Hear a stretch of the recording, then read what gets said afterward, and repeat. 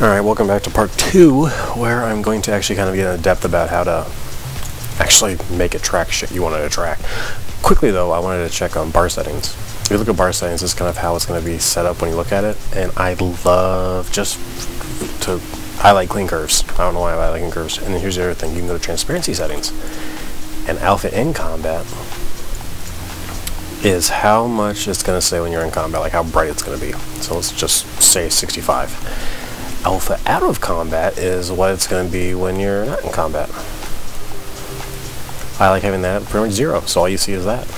Like you just see this, and then alpha out of combat and a target, you can put it like lower. So it's kind of like if I'm out of combat, yeah, I don't see much on my screen.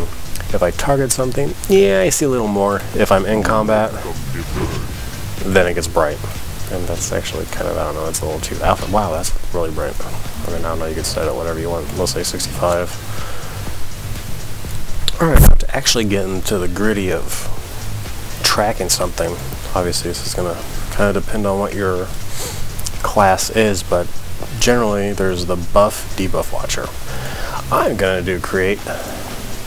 Awesome. Where do you want it? Side? Well, I like my shit on the left, so side left, offset 3, because health is offset 1, mana is offset 2. Well, the next line is offset 3.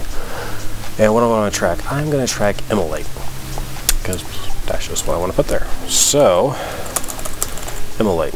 Um, you want to track the spelling. You can actually shift click in there if you wanted to. And after you get OK, the next thing you want to check is you need to track. You want to track the target.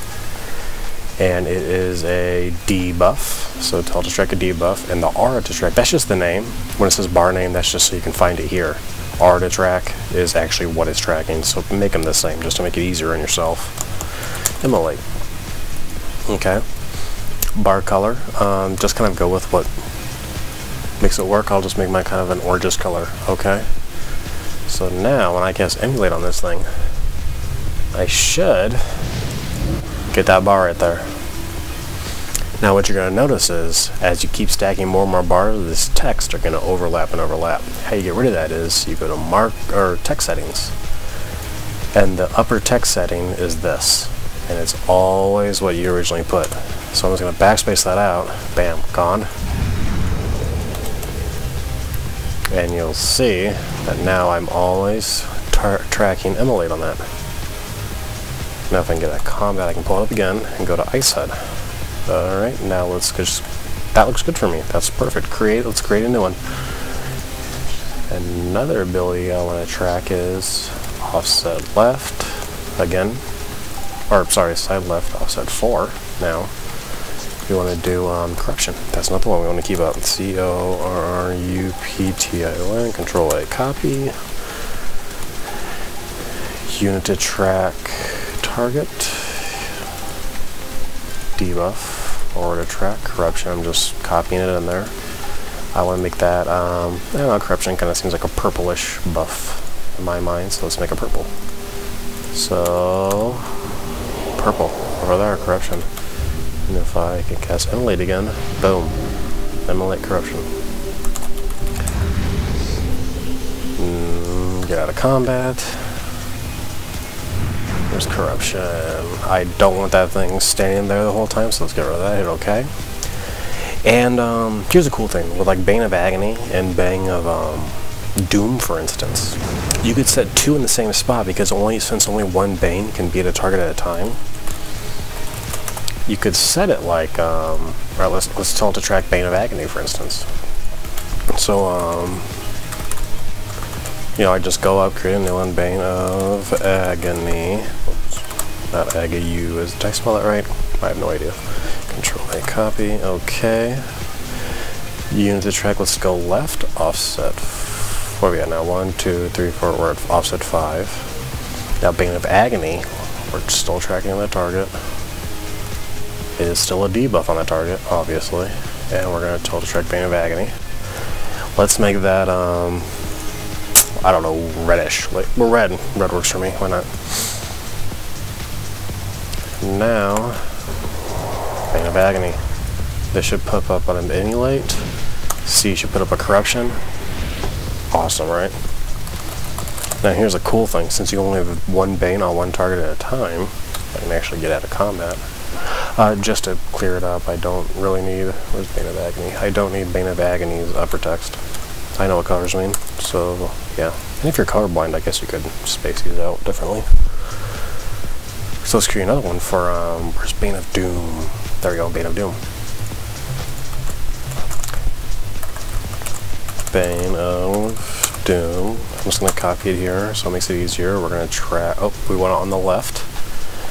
And we wanted it at 5, right? The exact same spot Agony was at, because you can only have one at a time anyways. And we wanted to track the target. And we wanted to, it's a debuff on the target. There we go. So let's put Bane of, oh, I didn't, hold on. I gotta get that combat. Come on, there we go. And color to make it. Bane of Doom. Um, I don't know, I guess black-ish. So if I push E's Bane of Agony, do we set that at red? I guess we just set that at red. Now what happens if I hit Bane of Doom? Bam. See? It goes black. Because you can only have one at a time, so you might as well have them in the same spot. It's my view at least. And I can change that Bane of Doom to, you know, not say anything.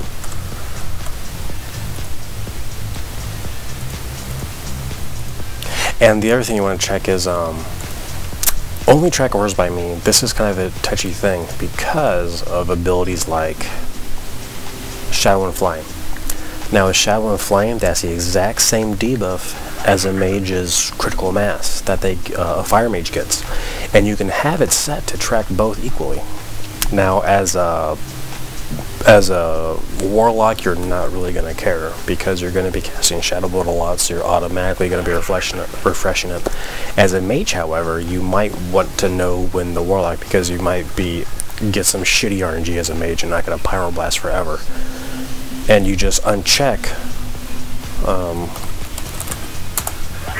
just uncheck only track auras by me. So like on your mage specific character, I actually have this on mine. I have it set to track critical mass, a target debuff critical mass because like that way any fire mage that has the buff on I can see it and then I you can actually duplicate this exact set you can duplicate that bar and then just tell it instead of tracking critical mass you can tell it to track shadow of flame which is the warlock version. So that way that bar is always there and it doesn't just disappear and you don't know what happened to it. Now track something like the molten core effect which is um where is that at? In here. Here. You have a 6% chance to gain the molten core effect your enemy deals damage. This is ugh, it's kind of annoying because like I said, alright. This kind of goes in more with trinkets. I like doing this on trinkets. But um buff debuff stat counter. So we're gonna go ahead and click that. We're gonna click create and molten core. Isn't that what it's called, right? molten molten core, right, with the space. Control A copy, okay, unit to track player, it's a buff, or to track molten core, okay. Maximum application, what is it, three? Alright, so the maximum application is three, sounds good. Uh, color, um, wait, Oh, sorry. Color, um, I don't know, molten core kind of sounds like a, fuck, I don't know, a tangerine-ish color, I don't know. And approximate immolate dealing damage. Let's just kind of throw immolates around to get this thing on proc. Hopefully. That way you can actually move it. Oh, there's a good thing. I can, okay, here we go, molten core, see? I kind of like where that's at, but I want to bro it up a little bit. Maybe font size. You see at three, right in the middle of those shadow crystals right there? I kind of like that. And I've actually been meaning to do this. I want to move those shadow shards down. What they called? What the fuck were they called? I can't remember. Soul shards? Do do do do do do do. Shard counter. And they actually have this for um, Paladin's Holy Power, or if you see my Rogue videos, my Rogue combo points are there too. So I'm actually going to drop the shard counter um, vertical position. Wrong way. Let's drop them down there. And Yeah, you can move them around, get them where you want them. Cool. So what do we end up with? We end up with tracks immolate, uh, Bane of Agony, corruption, and if Bane of Agony's up, hell, I can throw Bane of Doom and it tracks Bane of Doom in black. Uh, if I can get it a uh, emulation proc here.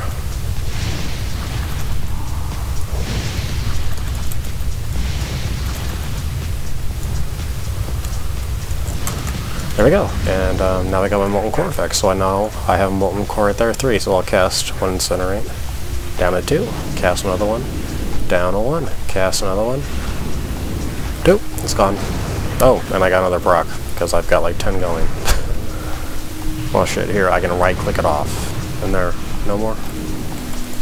And you can set that up with anything. Like you can set the, the stack counter up. You can set that up with any trinkets you can set the buff debuff buff. It's just um, like on my rogue, for instance, when you want to track like uh, instead of tracking immolate on your target. Why is this not going? I'm stuck in combat. Oh, stupid spawn. That's why. Instead of um, where we at here? Immolate.